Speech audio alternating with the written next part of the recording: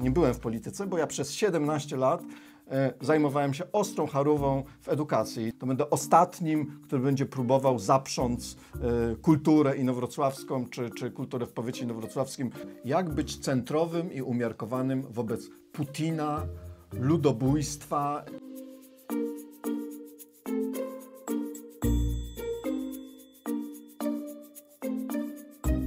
Witam Państwa na kanale Młodzi Pytają. Ja nazywam się Wiktor Bożejewicz i mam przyjemność poprowadzić dzisiejszy wywiad z doktorem Sław- Sławomirem Drelichem, kandydatem Polski 2050 do Rady Powiatu Inowrocławskiego.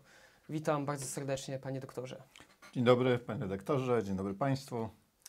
Panie doktorze, nie, moze- nie możemy w pełni przejść do naszego wywiadu, nie pytając wprost, jak dotychczas zasłużył się pan e, doktor e, dla naszego regionu, dla naszego powiatu.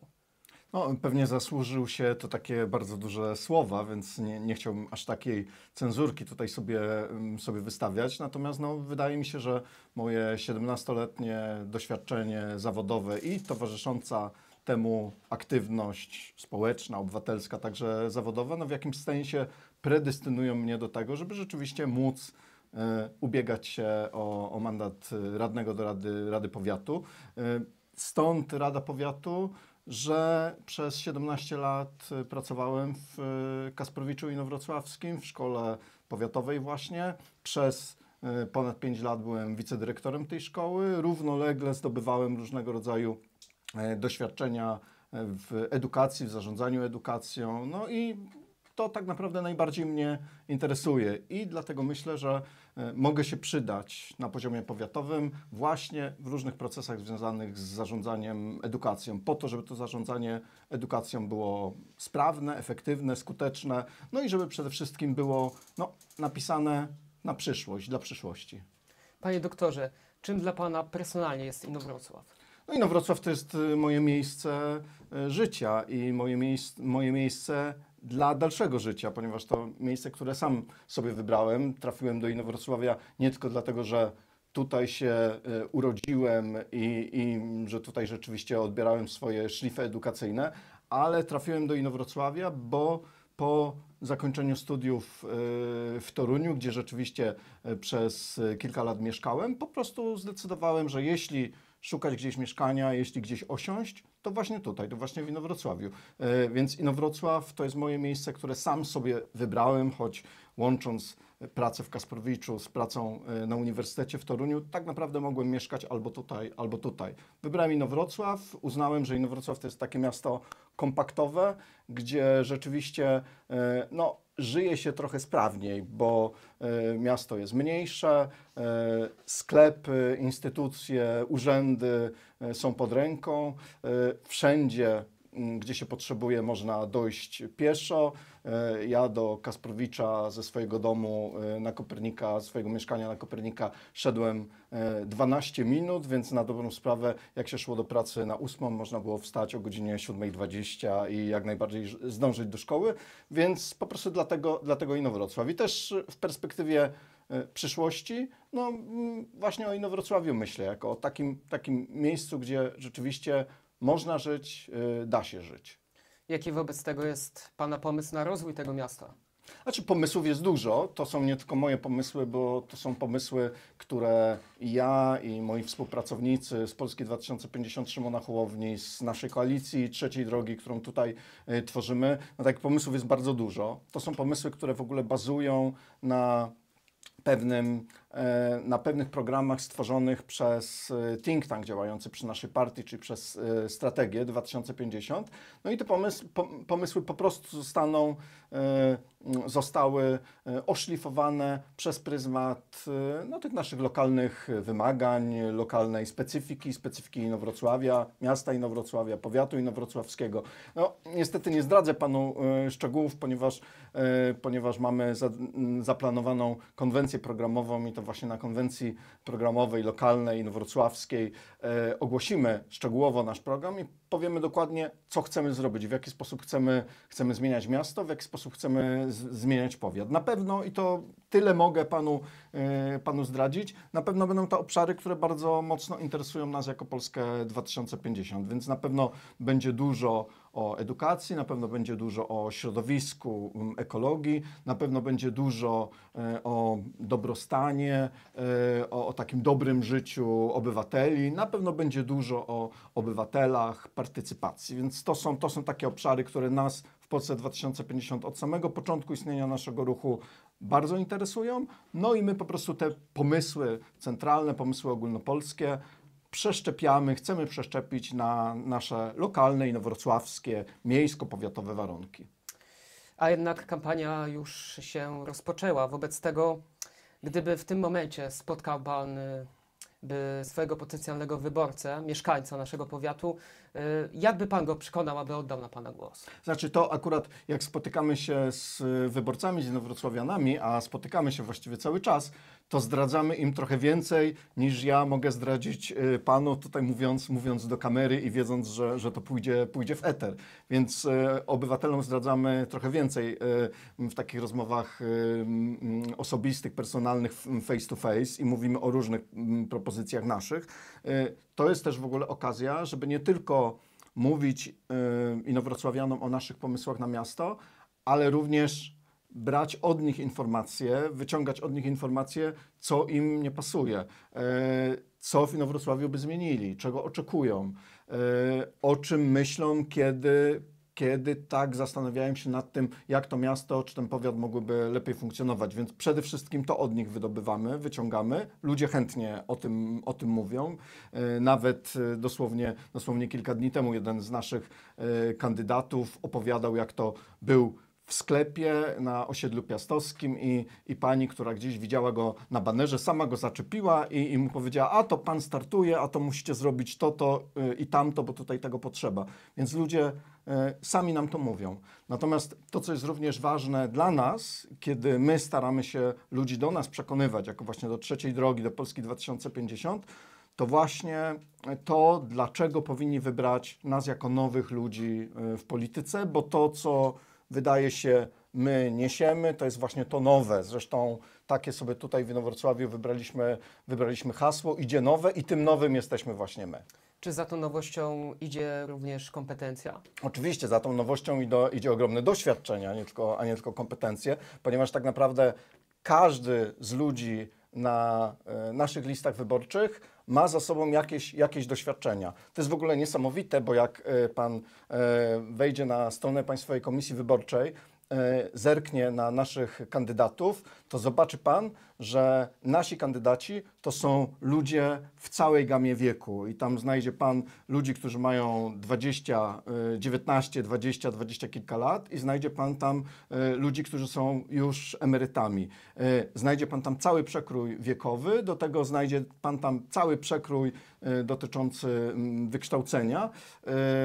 Oczywiście płciowy wynika z ustawy, więc, więc to też się tam znajdzie natomiast przede wszystkim 90% naszych kandydatów to są ludzie, którzy nigdy nie pełnili żadnej funkcji publicznej, ale to są ludzie, którzy wykazali się, ogromnie wykazali się w swoim życiu zawodowym bądź w swojej, w swojej społeczności lokalnej. A zatem za każdym z nich idzie jakaś działalność. Ja dotychczas nie pełniłem żadnej funkcji publicznej. Tak naprawdę polityką zacząłem zajmować się jakieś 2-3 lata, 3 lata temu, e, raczkując trochę e, w ruchu Szymona Hołowni.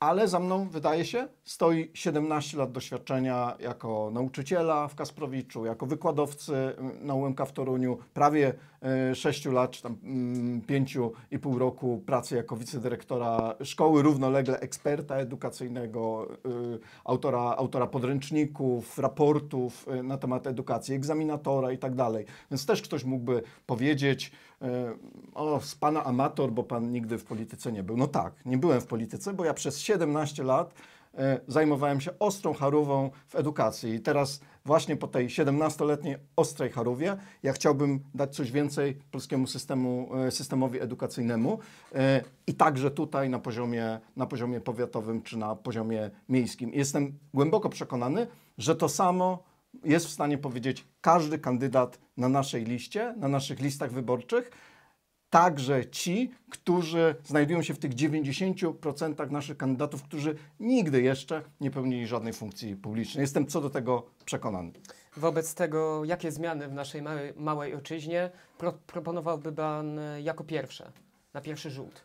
Mm, No, trudno tak powiedzieć, co na pierwszy rzut, ponieważ y, zwykle, y, kiedy konstytuują się nowe władze w jednostkach samorządu terytorialnego, to oczywiście najpierw tworzy się koalicja. Kiedy tworzy się koalicja, to koalicja tworzy swój program, wybiera się jakieś priorytety y, i ten program się realizuje, więc y, trudno mi jest tak jednoznacznie teraz powiedzieć, że na pewno w pierwszej kolejności chcielibyśmy zrobić to, to czy tamto, bo to będzie zależało od tego, jaki będzie układ sił w Radzie Miejskiej, od tego, jaki będzie układ sił w Radzie, w Radzie Powiatu, do której ja się wybieram. Yy, I pewnie ten układ sił będzie decydował o tym, jakie zostaną przyjęte priorytety i co będziemy robić na, na początku. Ja zresztą, jak już tutaj yy, wspomniałem, mi na sercu najbardziej leży yy, edukacja. I dlatego ja na pewno od pierwszego dnia pracy będę. Mm, jeśli oczywiście zostanę wybrany na radnego powiatowego, to od pierwszego dnia pracy będę myślał o tym, co zrobić, żeby edukacja w powiecie inowrocławskim e, była jeszcze lepsza. Więc na pewno od tego zacznę. Od czego konkretnie? Zobaczymy. Nie? No jesteśmy, wybory są w kwietniu, e, pewnie kilka tygodni potrwa konstytuowanie się nowych władz. Na dobrą sprawę e, dopiero nowa rada zacznie pracować w maju. E, Maj to już jest końcówka nowego, e, końcówka roku szkolnego, e, więc to będzie raczej czas takiego podsum podsumowania i, i myślenia o tym, e, co będzie można potencjalnie już zrobić we wrześniu nowego roku szkolnego. Nie wiadomo, czy tutaj nowa rada będzie mogła od razu e, wdrażać swoje pomysły, czy trzeba będzie trochę bazować na, na pracy rady odchodzącej. Pewnie tak będzie, bo to, to po prostu jest taki układ, układ tego kalendarza. Więc mi na sercu najbardziej leży edukacja, ale za tym oczywiście szereg innych obszarów, które nas interesują w Polsce 2050, jak, jak e, transport, ochrona środowiska, e, no, demokracja czy partycypacja. No, to są również rzeczy, które nas bardzo interesują. Mówiąc o nowych pomysłach, nie możemy zapomnieć o starych problemach, które dotykają nasze miasto. Takim niewątpliwie jest demografia. Y, Masowe, wyludni- niestety, wyludnianie się Inowrocławia postępuje. Jak temu zaradzić? Ja myślę, że tu przede wszystkim to jest kwestia tego, jak ludzie widzą swoje perspektywy tutaj. Nie? No bo to, y, y, kiedy rozmawia się z młodymi ludźmi, którzy nie chcą wracać y, do Inowrocławia, kiedy zadaje się im pytanie, a dlaczego nie wracasz, y, a nie chcesz wrócić do Inowrocławia, to oni mówią, nie, bo tutaj nie mam perspektyw. I to jest najczęstsza, y, najczęstsza odpowiedź. A skoro najczęściej młodzi ludzie tak odpowiadają, to pewnie coś w tym jest. Nie? Więc y, ja osobiście no, nie miałem z tym problemu. Znalazłem od razu po studiach pracę w Kasprowiczu, tak się jakoś złożyło, początkowo na, na pół etatu. Y, no, oczywiście praca nauczyciela nie jest pracą y, najlepiej opłacalną, więc może nie każdy jest usatysfakcjonowany z takiej pracy, ale ja po prostu zawsze chciałem być nauczycielem. Natomiast mamy świadomość tego, że mm, osoby, które ukończyły pewne kierunki studiów w Inowrocławiu zwyczajnie pracy nie znajdą, bo nie ma tutaj pewnych grup y, przedsiębiorstw, pewne typy zawodów no, mm, nie, są w stanie, e, nie są w stanie tutaj znaleźć, znaleźć zatrudnienia. Więc teraz trzeba by e, raczej pomyśleć, przede wszystkim pomyśleć o tym, co zrobić, aby uczynić inowrocławski rynek pracy bardziej atrakcyjnym. E, a o to, tak na dobrą sprawę, trzeba zapytać inowrocławskich przedsiębiorców. Czyli na dobrą sprawę to inowrocławscy przedsiębiorcy powinni udzielić rządzącym, e, radnym miejskim, radnym powiatowym odpowiedzi na to, czego brakuje, jakie są najważniejsze przeszkody w prowadzeniu działalności gospodarczej y, tutaj, e, jakie są problemy em, związane z zatrudnianiem pracowników, jakich pracowników brakuje i dlaczego nie chcą tutaj, tutaj pracować. Więc e, to, na co my również w Polsce 2050 mocno stawiamy nacisk, w ogóle w trzeciej drodze, bo tutaj nasi koalicjanci z PSL-u mają podobne podejście, to bardzo bliski i właściwie nieustannie trwający dialog ze środowiskiem gospodarczym. To jest tutaj bardzo potrzebne, zresztą to jest także bardzo potrzebne e, w zarządzaniu mm, edukacją. Mówiąc y, o młodych, y, powiedział Pan już, że temat edukacji jest szczególnie bliski Panu sercu, ale umówmy się, no, młodzież nie tylko edukacją żyje, więc wobec tego, co Pan proponuje, jeśli chodzi potocznie mówiąc o rozrywkę dla młodzieży inowrocławskiej. Mhm. E, To akurat w mniejszym stopniu są zadania, zadania powiatu, a w szerszym stopniu pewnie zadania, mm, zadania e, miejskie. Ja myślę, że jeśli chodzi o kwestie związane z rozrywką, e, to tutaj głównym chyba zagadnieniem, czy głównym problemem jest problem bezpieczeństwa. Tak w każdym razie jest, tak odpowiadają ci przedsiębiorcy, z którymi my rozmawiamy, a którzy prowadzili jakiś typ działalności gospodarczej, który gdzieś tam funkcjonował w okolicach, w okolicach sektora rozrywkowego. Oni najczęściej mówią, że to właśnie kwestia bezpieczeństwa jest dla nich największą, największą blokadą. Więc sektor rozrywki zawsze pociąga ze sobą ryzyka dotyczące, dotyczące bezpieczeństwa. Do tego nie należy zapominać o tym, że Inowrocław ponosi trochę konsekwencje bliskości do dwóch dużych miast wojewódzkich, naszych tych y, miast wojewódzkich, czyli Bydgoszczy y, i Torunia. Coś, co dla wielu jest oczywiście błogosławieństwem, bo można na studia dojeżdżać autobusem czy pociągiem, choć pociągami regionalnymi trochę mniej, bo oczywiście jest ich jest ich coraz mniej, przewozy regionalne no, przestały spełniać funkcję tego środka transportu powszechnie dostępnego i rzeczywiście y, y, używanego, y, z którego można korzystać zawsze, a na pewno pociągów dzisiaj, przewozów regionalnych jest mniej niż wtedy, kiedy ja mm, studiowałem.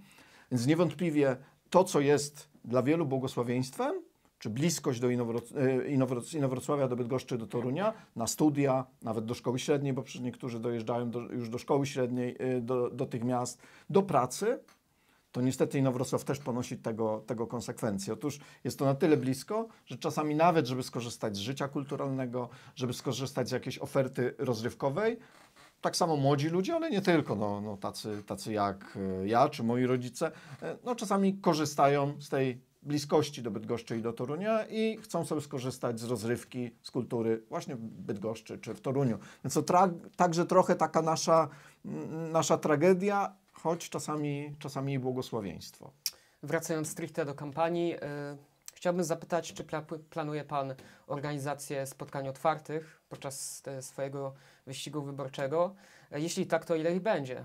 No, na pewno będzie ich dużo, a ja bym wręcz powiedział, że one będą nieustannie. Yy, Teraz y, ta kampania tak naprawdę y, się rozkręca, więc tutaj komitety głównie skupiają się na tym, żeby wszędzie rozwiesić swoje wizerunki, nie? więc ta mm, powszechna baneroza y, jest rzeczywiście tym pierwszym etapem kampanii wyborczej. To jest, to jest naturalne, no bo przecież w jakiś sposób trzeba inowrocławian, czy w ogóle obywateli, potencjalnych wyborców trzeba im się pokazać, że w ogóle się jest, że się istnieje, żeby mogli się nami zainteresować, wiedzieć, że w ogóle, że w ogóle startujemy, kandydujemy. Oczywiście przy tej okazji też y, gdzieś tam spotykamy się z ludźmi i rozmawiamy. Natomiast niewątpliwie y, no, z tygodnia na tydzień y, no, coraz bardziej czy coraz większe znaczenie będzie odgrywała kampania bezpośrednia.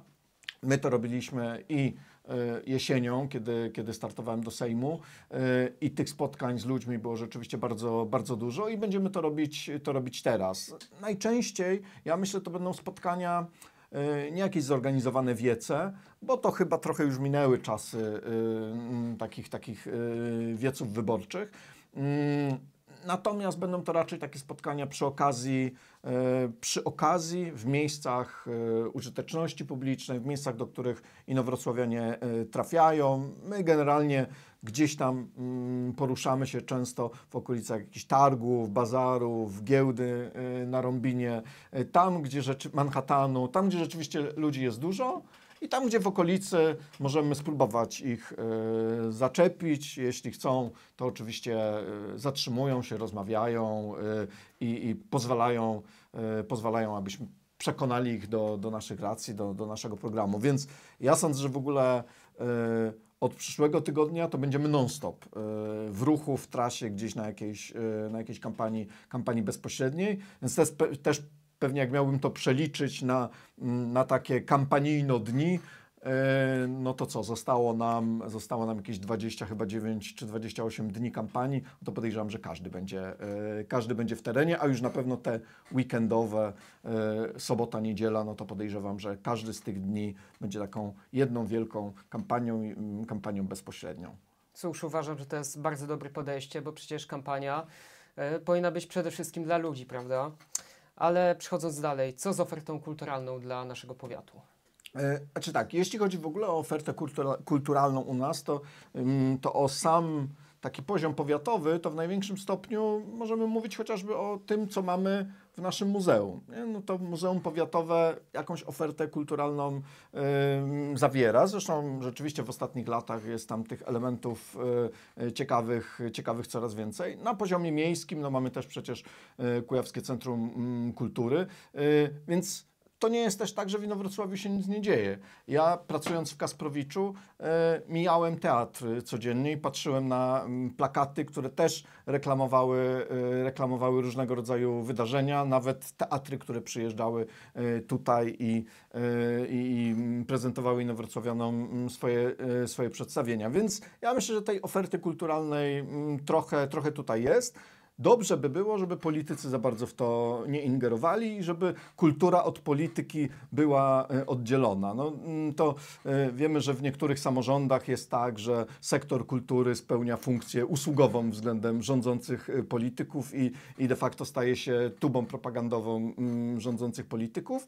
Mm, Ja jestem od tego jak najdalszy. Uważam, że w kulturze przede wszystkim powinna mm, funkcjonować, obowiązywać zasada, zasada wolności, swobody ekspresji artystycznej, a nie bycie takim sektorem usługowym względem jakiegoś prezydenta czy, czy burmistrza. To jest zawsze, zawsze ślepa uliczka. I ja tutaj sądzę, że w Inowrocławiu mieście, jak i w powiecie inowrocławskim e, tak powinno być i na pewno jak przyjdzie do tego, że będę radnym powiatowym, to będę ostatnim, który będzie próbował zaprząc e, kulturę inowrocławską czy, czy kulturę w powiecie inowrocławskim do, do tego, żeby stała się jakąś usługówką którejkolwiek partii politycznej, któregokolwiek e, urzędnika. Jestem naprawdę od tego jak najdalszy i w ogóle e, uznaję takie, takie działania za karygodne. Cóż, mówiąc o kampanii samorządowej, zwłaszcza w Inowrocławiu, e, widać mnogość kandydatów, jeśli na przykład chodzi o e, kandydatów na prezydenta naszego miasta. A kto według pana doktora jest najlepszym wyborem, jeśli o to chodzi? A żaden z tych kandydatów mnie nie przekonał. To, to ja czekam, aż któryś, aż któryś mnie przekona. My w trzeciej drodze nie wystawiamy e, kandydata na prezydenta, e, więc jest czymś oczywistym, że kiedy ja pójdę głosować e, 7 kwietnia, to tę kartkę, e, tę kartę do głosowania na prezydenta miasta również jakoś wypełnię i przy kimś ten krzyżyk e, postawię.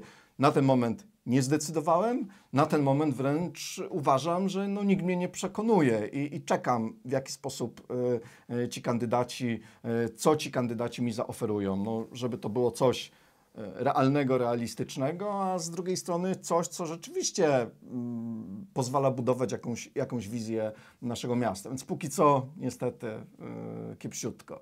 A może jednak któryś z kandydatów szczególnie przypadł panu do gustu? No, no niestety jeszcze nie. E, Jest jeszcze miesiąc, więc ja zakładam, że ci, którzy będą chcieli zdobyć mój głos, e, to gdzieś może trafią i może coś zaproponują, zaoferują. E, Póki co, póki co takiego faworyta, faworytki, no bo też przecież mamy panią w tym wyścigu, jeszcze nie mam. Oczywiście, co będzie dla mnie ważne? Dla mnie będzie ważne to, żeby potencjalny kandydat, na którego ja osobiście e, zagłosuję, no, żeby realizował postulaty, które są e, bliskie trzeciej drodze, bliskie Polsce 2050, a może gdzieś tam spośród e, tej oferty, w ramach tej oferty, którą my, jako kandydaci na radnych z trzeciej drogi zaproponujemy, może któryś kandydat y, będzie chciał zrealizować y, nasze postulaty, no to wtedy oczywiście będziemy, będziemy otwarci na, na takiego, takiego kandydata. Przechodząc do wielkiej polityki, od wyborów 15 października minęło już trochę czasu. Trzecia droga uzyskała w nich ponadprzeciętny wynik. Myślę, że mało kto się takiego spodziewał. My się spodziewaliśmy. Może oprócz kandydatów z trzeciej drogi. A mimo to nie udało się panu wywalczyć mandatu. Wobec tego, jak ocenia pan swoją kampanię? Mhm.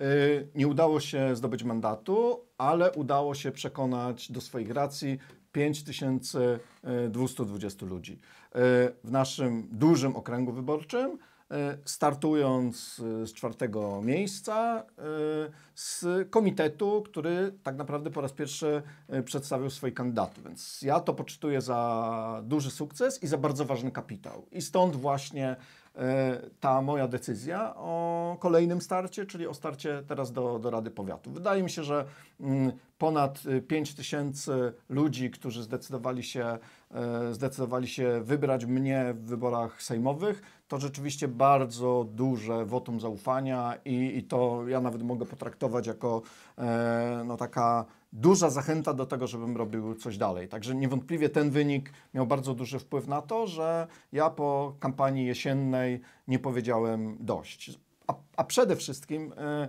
mm, ja podchodzę do polityki trochę, mm, trochę tak jak e, lider naszej partii, jak Szymon Hołownia. E, Szymon Hołownia już startując w wyborach na prezydenta powiedział, że jemu zależy na tym, żeby polityka była na pokolenia, a nie na kadencję. I żeby zaszczepić taki sposób myślenia o Polsce, który będzie sposobem myślenia o Polsce na pokolenia, na przyszłe pokolenia, a nie na jedną kadencję. I podobnie myślę ja, i podobnie ja, kiedy zdecydowałem się na start w jesiennych wyborach, to oczywiście wiadomo, że chciałem wygrać, że chciałem ten mandat zdobyć, że byłem kampanię i właściwie przez całe e, półtora miesiąca kampanii e, jeździłem po, po okręgu. Właściwie nie było dnia, żebym kampanii nie uprawiał w tym, w tym okresie i robiłem to po to, żeby mandat zdobyć. Ale oczywiście miałem świadomość tego, że się uda albo nie uda na na naszej liście wyborczej byli e, także e, posłowie, e, bądź też byli posłowie, więc wiadomo, że no, konkurencja była, była bardzo wysoka. W Inowrocławiu miałem bardzo silnych rywali, no bo, no bo przecież wiemy, że tutaj i, i Krzysztof Brejza startował, i Magdalena Łośko, też posłanka wtedy, więc no naprawdę bardzo mocna, silna konkurencja, więc nie było łatwo. Natomiast właśnie ja mam takie podejście jak, jak Hołownia. Polityka to jest coś, co się robi nie na kadencję, tylko na pokolenia. I te wszystkie decyzje, które ja podejmuję e, dotyczące polityki, które my tutaj w Inowrocławiu jako Trzecia Droga czy Polska 2050 podejmujemy, to są również decyzje, które właśnie wynikają z takiego sposobu myślenia. Wielu ludzi pyta mnie, e, Sławek, czy panie doktorze, dlaczego pan nie startuje e, na prezydenta? No to ja im odpowiadam, przedstawiając kilka takich najważniejszych argumentów. Główny argument jest właśnie ten argument, że my myślimy o polityce na pokolenia, a nie na kadencję. Okej, okay, mógłbym wystartować w wyborach na prezydenta, jeszcze bardziej się podpromować, y, obwiesić Inowrocław swoimi twarzami, choć też ich jest dość dużo, y, ale nam przecież nie o to chodzi, żeby wypromować po prostu jednego człowieka. Polsce 2050 chodzi o to, żeby wypromować lokalnych liderów, ludzi, którzy na osiedlach będą robili fajne rzeczy, e, ludzi, którzy przydadzą się w Radzie Miasta i którzy będą pokazywać naszą wizję, to nasze DNA, bo my w Polsce 2050 tak mówimy, że to jest nasze DNA, czyli nasz sposób myślenia o, o Polsce. Ja bym chciał, żeby właśnie tacy ludzie z tym naszym DNA Polski 2050 byli na Piastowskim, na Rąbinie, na Nowym, w Szymborzu, na Starym Mieście i żeby ci ludzie dostali się do Rady Miasta, bo jak ci ludzie będą w Radzie Miasta, to oni będą ogromną siłą Polski 2050. E, więc tak naprawdę my zdecydowaliśmy o tym. E, no, ja także uczestniczyłem w tym podejmowaniu decyzji, żeby skupić się teraz właśnie na promowaniu liderów, e, promowaniu młodych, fajnych, aktywnych, ambitnych ludzi, którzy pokażą również na skalę Inowrocławia, powiatu inowrocławskiego, że można trochę inaczej myśleć o polityce i że polityka e, może polegać na robieniu czegoś, choćby to była robota e, krok po kroku, powoli, ziarnko do ziarnka, bo my właśnie w taką politykę e, wierzymy. Dlatego nie przedstawimy ludziom rewolucyjnych, rewolucyjnych pomysłów. Ja nie będę opowiadał o tym, jaką zrobię rewolucję w powiatowej oświacie. No przecież po pierwsze, nikt mi w to nie uwierzy, a po drugie e, część może po prostu się przestraszyć takim sposobem myślenia. Ja jestem od tego mm, bardzo daleki, zawsze miałem mm, ewolucjonistyczne podejście do wszelkiego, e, wszelkiego typu zmian. Więc my chcemy zmian krok po kroku i ja również w taki sposób myślę, myślę o polityce. To jest robota krok po kroku.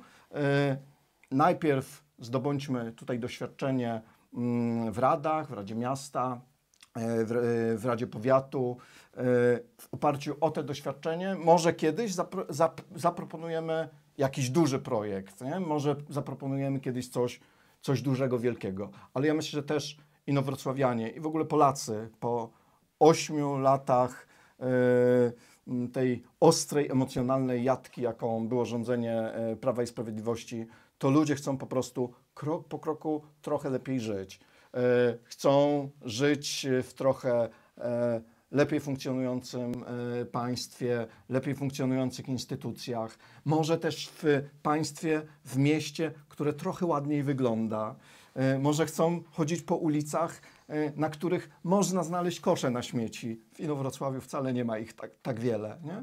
Więc może tak naprawdę to, co proponujemy ludziom, czy co powinniśmy ludziom zaoferować, to to, że będzie więcej koszy na śmieci, że e, ulice po tym, e, po tym, jak pojawi się gołoleć, że po prostu zostaną e, od razu posypane e, solą, żwirem e, i, i zabezpieczone, że ludzie się nie będą przewracać e, na tych ulicach, co niejednokrotnie miało miejsce, kiedy ja szedłem, e, e, szedłem zimą do szkoły ulicą Dworcową. E, więc ja sądzę, że najważniejsze jest pokazać ludziom, że my chcemy zrobić coś konkretnego, że to będzie robota krok po kroku, a nie jakieś wielkie pomysły, które i tak najczęściej kończą się wielkim fiaskiem, wielką katastrofą. No jednak przed wyborami Polska 2050 kierowała się jako partia alternatywna. Przecież sama nazwa koalicji Trzecia Droga sugerowała, że jest, już, jest e, trzeci wybór, prawda? E, czy w tym momencie, po kilku miesiącach e, koalicyjnych rządów Trzeciej Drogi, jest Pan z czystym sumieniem w stanie stwierdzić, że rzeczywiście był to powiew świeżości? Yy, tak, uważam, że był i że jest to powiew, powiew świeżości, bo rzeczywiście wydaje mi się, że nasi posłowie, marszałek Sejmu yy, w sposób skuteczny, chronią nas przed pogłębianiem polaryzacji.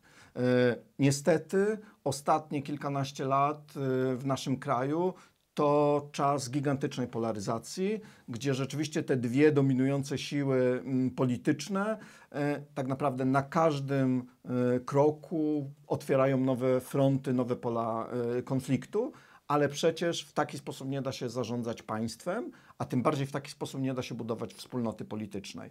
Trzecia droga właśnie chce przełamać ten, ten duopol i wydaje mi się, że nam się, nam się to udaje. Notabene sam nasz wynik wyborczy, no jest y, wynik, wynik jesienny, jest jednoznacznym dowodem, że te kilkanaście procent Polaków uwierzyło, że rzeczywiście trzecia droga może dać alternatywę. Co ciekawe, choć zawsze podchodzę sceptycznie do, do sondaży wyborczych, yy, czy, czy do sondaży przedwyborczych, no to sondaże w ostatnich tygodniach pokazują, że chyba, chyba to działa i że chyba ludzie rzeczywiście e, widzą, że trzecia droga może być, może być alternatywą, bo przecież e, tak naprawdę po, e, po jesiennych wyborach trzecia droga ma sondaże o kilka punktów procentowych wyższe niż, niż jeszcze w październiku, więc chyba to jest ta droga. Na pewno tutaj jest duży wpływ naszego lidera Szymona Hołowni, mm, jest oczywiste. E, jego praca jako marszałka Sejmu, w ogóle bycie drugą osobą w państwie, czyli możliwość częstszego występowania, częstszego komunikowania się z ludźmi, no to pewnie też ma tutaj, e, tutaj duży wpływ. No ale dochodzi do tego mrówcza praca naszych posłów. Ja znam mm, dużą część e, posłów z naszego, z naszego klubu. I to są naprawdę ludzie, którzy wykonują mrówczą robotę. To też są ludzie, którzy najczęściej nie pełnili wcześniej funkcji, tych najwyższych funkcji posła czy, czy senatora, ale to są ludzie, którzy gdzieś sprawdzili się niżej. Byli wójtami, byli radnymi, byli działaczami społecznymi, a może po prostu koordynowali jakiś wolontariat. I ja po prostu widzę, bo mam z nimi, z nimi kontakt, widzę, jak oni działają w Sejmie. To jest prawdziwa robota. Yy, oni oczywiście komunikują się też z ludźmi przy pomocy social mediów, więc można ich, ich zobaczyć, znaleźć, ale wiem, jak oni e, uczciwie, solidnie pracują w komisjach e, i to jest naprawdę szansa i to jest duża nadzieja. Cóż, panie doktorze, w grudniu został pan powołany do zarządu Fundacji Rozwoj, e, Rozwoju Systemu Edukacji. Jak się pan odnalazł w tej fundacji? No przede wszystkim FRSE, czy Fundacja Rozwoju Systemu Edukacji, bo może nie wszyscy wiedzą, to jest taka instytucja, w która w imieniu Ministerstwa Edukacji Narodowej zarządza mm, projektami realizowanymi z funduszy unijnych, czyli zajmuje się ich zarządzaniem, dystrybuowaniem e, środków. Najbardziej jest znana jako e, Narodowa Agencja Programu Erasmus. Więc to są no, niesamowite zadania. I no, na pewno powołanie w takie miejsce było dla mnie jako nauczyciela, wicedyrektora szkoły, wykładowcą, no, takim dowodem na to, że gdzieś tam w, te, w tej, na tej drabinie awansu zawodowego jest to duży krok do przodu, także oczywiście y, trochę onieśmielony, ale rzecz jasna nie, nie wahałem się, czy przyjąć y, te propozycje. Y, praca jest bardzo ciekawa, no jest jej dużo, bo jak każda instytucja gdzieś tam po latach zarządzania przez ludzi powołanych przez Prawo i Sprawiedliwość, no, no ma jakieś tam swoje e, wewnętrzne e, problemy i trzeba sobie z tym, z tym poradzić. Ale jest to praca, która daje niewątpliwie dużą satysfakcję, czasochłonna, yy, ale cieszę się, że rzeczywiście coś takiego miało miejsce. Oczywiście yy, no, człowiek zawsze yy, ma jakiś sentyment do, do tego miejsca, yy, które gdzieś tam, gdzieś tam zostawił, yy, czy chociażby do, do Kasprowicza. Notabene nie jest powiedziane, że, że za chwilę do niego nie wrócę. Więc jakiś sentyment zawsze się włącza, szczególnie zawsze, kiedy, kiedy tutaj jestem w mieście. No ale przecież nie, nie zerwałem e, relacji, kontaktów ze szkołą. Jestem w stałym kontakcie i, i z dyrektorem, z nauczycielami, z moimi kolegami, z koleżankami, także z uczniami. E, tak jak 4 lata temu zacząłem prowadzić moich e, olimpijczyków, mam zajęcia z nimi czy w ramach kółka, czy indywidualnego toku, tak dalej. One się odbywają, no bo tę swoją misję trzeba, trzeba zakończyć, a ona się zakończy, kiedy oni skończą szkołę, a skończą w kwietniu. Więc, yy, więc to nie było takie cięcie, które poskutkowało tym, że, yy, że od razu gdzieś tam się ewakuowałem, zniknąłem i, i tym bardziej, nie wiem, wykasowałem numery z telefonu. No, nie miało to miejsca i w ogóle, w ogóle nie będzie miało to miejsca, bo to Inowrocław jest, jest moim miejscem. Cóż, przechodząc dalej, już w tej rozmowie wielokrotnie przywołał Pan e, Pana Szymona Hołownię, lidera Polski 2050. E, mówił Pan, że w wielu kwestiach zgadza się z nim. No, trudno ukryć, że niedawno Pan Szymon Hołownia, no cóż, nie przebierał w słowach, e, jeśli chodzi o sytuację za naszą wschodnią granicą.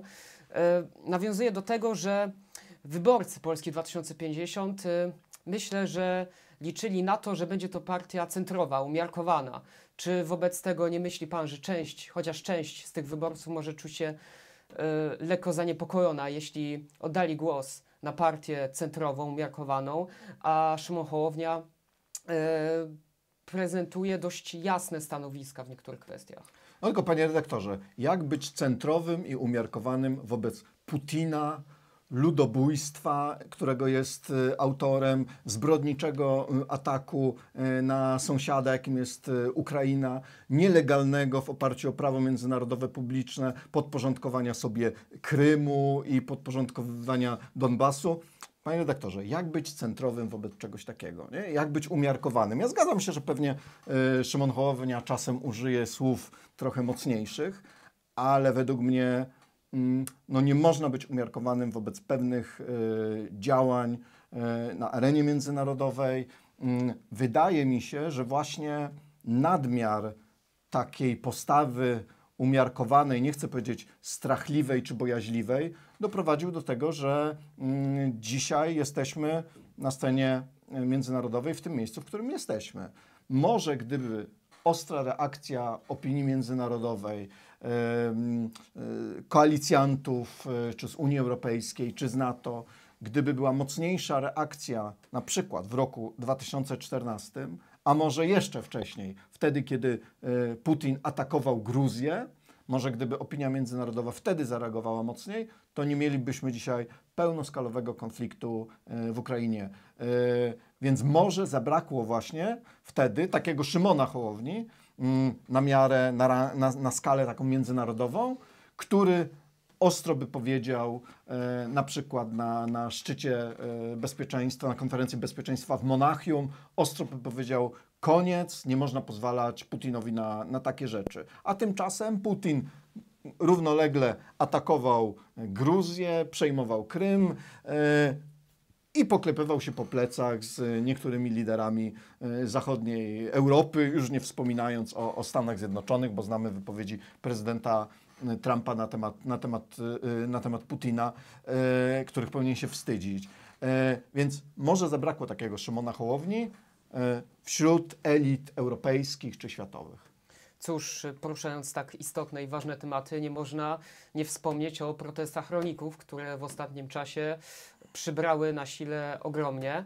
E, jak się Pan do tego ustosunkuje? No, panie redaktorze, to jest właśnie kolejny przykład tego, jakie konsekwencje aktualnie rządząca koalicja e, ponosi, e, a przecież wiemy, kto nam tego piwa naważył. Tego piwa nam naważyło Prawo i Sprawiedliwość. No przecież to, przeciwko czemu dziś rolnicy protestują, z czym ja się, ja się w ogóle ogromnie solidaryzuję z, z tym, e, o czym, oni, o czym oni mówią. Kto jest tego autorem? Autorem jest tego rząd Mateusza Morawieckiego, regulacje, które przyjął rząd, decyzje, które podjął rzeczywiście e, i te decyzje zbożowe i, i, i szereg innych decyzji. Przecież to są decyzje rządu Mateusza Morawieckiego i my dziś musimy wypić, e, wypić to, musimy sobie z tym poradzić. Ja jestem tutaj przekonany, że, że rząd Donalda Tuska, minister rolnictwa dadzą sobie z tym radę. Przy czym nie zapominajmy o jeszcze jednej rzeczy. E, tak naprawdę rolnictwo jest jednym z tych obszarów, które e, podlega w pierwszej, mm, w pierwszej kolejności Y, decyzjom Unii Europejskiej, czyli Komisji Europejskiej. Więc tutaj również nie jesteśmy w pełni y, samodzielni, jeśli chodzi o, o, polski rząd, ponieważ są to y, decyzje, akurat rolnictwo jest jednym z tych obszarów, które znajdują się w ramach, w ramach kompetencji Unii Europejskiej. Właśnie ten obszar przekazaliśmy, podpisując traktat akcesyjny, kiedy w 2004 przystępowali do, przystępowaliśmy do Unii Europejskiej, to zgodziliśmy się na to, że rolnictwo będzie w pierwszej kolejności zarządzane, zarządzane przez Komisję Europejską. Więc tu jest e, tak naprawdę mm, pałeczka po stronie Komisji Europejskiej. No i znowu powiem, nie chcę, nie chcę być złośliwy, e, a który komisarz e, w Komisji Europejskiej zajmuje się rolnictwem? Hmm. Czy to nie jest czasami komisarz Wojciechowski, wywodzący się z Prawa i Sprawiedliwości i przez Prawo i Sprawiedliwość wskazany do Komisji Europejskiej? Tak. No to ja zapytam, to, to odpowiedzialność Prawa i Sprawiedliwości jest, jest podwójna. Więc niech teraz komisarz Wojciechowski pomoże polskiemu rządowi e, poradzić sobie z tą, mm, z tą sytuacją. Niech lobbuje w Unii Europejskiej, niech wspomoże Donalda Tuska, bo wiemy, że premier, e, że premier też w tej sprawie jeździ do Brukseli i, i rozmawia z Komisją Europejską. Niech pan komisarz Wojciechowski e, pomoże i też pokaże tę swoją sprawczość. Więc natomiast co do sedna, pełni się zgadzam z, e, tej, z postulatami rolników i, i w zupełności je, je, rozumiem. Także to, mm, natomiast tutaj no, pomoc Komisji Europejskiej, czy decyzje Komisji Europejskiej, pomoc komisarza, yy, no i też pamiętajmy, kto te decyzje podjął. No więc, panie komisarzu Wojciechowski, czekamy na pomoc. E, no niestety, albo stety, równie istotnym tematem, jeśli nie istotniejszym dla niektórych osób, jest sprawa aborcji, która odżyła w ostatnim czasie. Dlaczego trzecia droga zwleka z liberalizacją prawa aborcyjnego? I czy rzeczywiście sądzi Pan, że referendum to najlepsze wyjście, bo e, na przykład Szymon Hołownia tak właśnie sądzi? E, znaczy, sprawa tutaj nie jest taka, taka łatwa i jednoznaczna z kilku powodów. Pierwsza rzecz jest taka, że od razu, żeby, żeby było jasne, no bo nie będę tutaj się ubierał w szaty osoby udającej kogoś innego. Ja jestem zwolennikiem liberalizacji prawa, prawa do aborcji. E, i uważam, że rzeczywiście tego typu regulacje, y, jakieś tego typu regulacje powinny być przyjęte. Natomiast oprócz tego y, jestem też realistą politycznym i mam świadomość tego, że uchwalona dziś, potencjalnie uchwalona dziś przez Sejm ustawa liberalizująca prawo do aborcji zostanie zawetowana przez prezydenta Andrzeja Dudę, który jeszcze przez prawie półtora roku będzie prezydentem Rzeczypospolitej. Więc należy zadać sobie pytanie, po co dziś podejmować regulację, y, która zostanie zawetowana przez Andrzeja Dudę? Ba, a może jeszcze dodatkowo Andrzej Duda odeśle te regulacje, zanim e, odeśle te regulacje do Trybunału Konstytucyjnego, który też wiemy w jakim znajduje się e, stanie i e, jakie jest jego mm, aktualne, aktualne orzecznictwo. A zatem dziś uchwalanie ustawy, która trafi do Trybunału, a, a Trybunał uzna ją za niekonstytucyjną, albo Andrzej Duda ją zawetuje, a wiemy, że mm, aktualna koalicja rządząca no nie ma większości, która pozwoliłaby odrzucić y, weto prezydenta, prezydenta Dudy, to tak naprawdę teraz trzeba sobie zadać pytanie, po co jest cała ta akcja?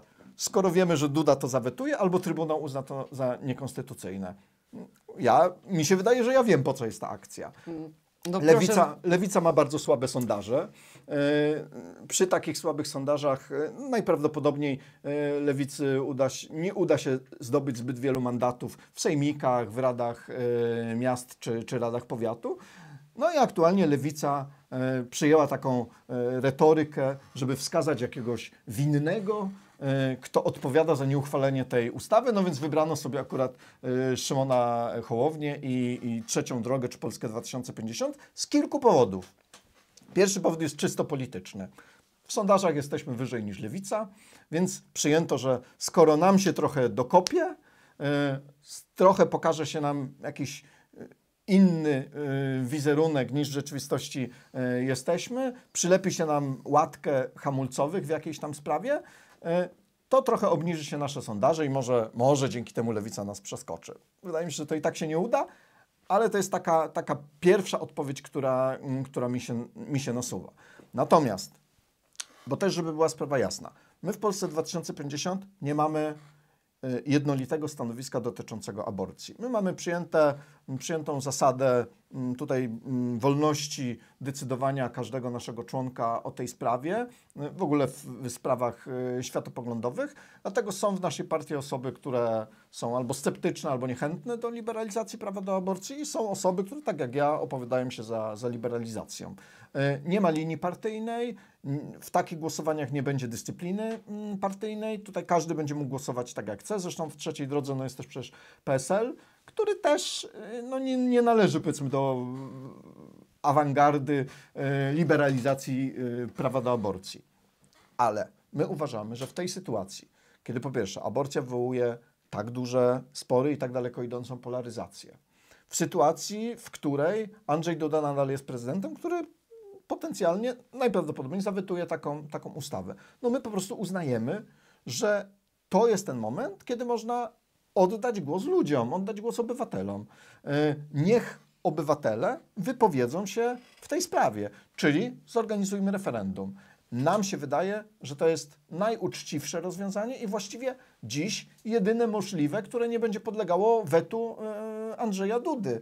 E, Dlatego lepiej według nas zrobić referendum, w którym wypowie się każdy obywatel. Ale przecież tutaj też te środowiska lewicowe, te organizacje lewicowe, które tak mocno w trzecią drogę walą, no to przecież to te środowiska podkreślają, że większość społeczeństwa polskiego jest za liberalizacją prawa do aborcji. No to teraz nie wiem, może ja nie myślę logicznie, ale skoro uważają, że większość społeczeństwa jest za liberalizacją prawa do aborcji, no to wręcz chyba te środowiska powinny się opowiadać za referendum i twierdzić, że tak, zróbmy referendum, bo większość jest za, więc i tak takie referendum bę- będzie wygrane. Więc jest tutaj jakaś niespójność, a ta niespójność przekonuje mnie, że chodzi tu tylko o cel polityczny, nie? czyli dokopać trzeciej drodze i spróbować wyprzedzić trzecią drogę w sondażach, podnieść notowania, notowania lewicy. No ale przecież aborcja była przez e, środowiska lewicowe tak samo, no mówiąc kolokwialnie, grzana jesienią. No i też widzimy, jakie, jakie wyniki, wyniki były. Czyli uważa pan doktor, że lewica przedkłada e, swoje własne partyjne interesy ponad e, interesy koalicji rządzącej, ponad dobro państwa? No to pan redaktor powiedział. Yy, ja powiedzmy zawieszę swój osąd yy, w tej sprawie. Cóż, przechodząc dalej, e, musi oczywiście paść pytanie o budowę centralnego punktu ko- komunikacyjnego. E, Czy CPK powinno powstać według pana doktora? Znaczy, na pewno powinna zostać zrealizowana jakaś e, inwestycja, która spełnia, spełnia te funkcje. No to wiemy o tym od lat. Lotnisko warszawskie na Okęciu ym, przestaje rzeczywiście realizować tę, tę funkcję. Zresztą no, jest to lotnisko położone w- środku miasta, które no, nie, ma możliwości, nie ma możliwości rozbudowy tego lotniska, więc z, najprawdopodobniej tak, jakaś tego typu inwestycja y, jest potrzebna. Niektórzy eksperci twierdzą, że ona powinna być bliżej Warszawy, y, że, że ten pomysł CPK jest trochę źle, źle ulokowany. Nie wiem, ja nie jestem specjalistą od, od trans, transportu. Wydaje mi się, że jakaś tego typu inwestycja jest Polsce potrzebna i chyba tutaj jest, jest y, konsensus. Pytanie oczywiście, co tak naprawdę w ramach tego projektu y, CPK, co zrobiono, co się już udało, gdzie jesteśmy, ile pieniędzy wydano, czy wydano te pieniądze y, gospodarnie i, i celowo. Tak naprawdę myślę, od tego trzeba zacząć, żeby móc powiedzieć, czy ten projekt musi być e, realizowany w takim zakresie i w tej formie, e, czy jest szansa powodzenia tego projektu.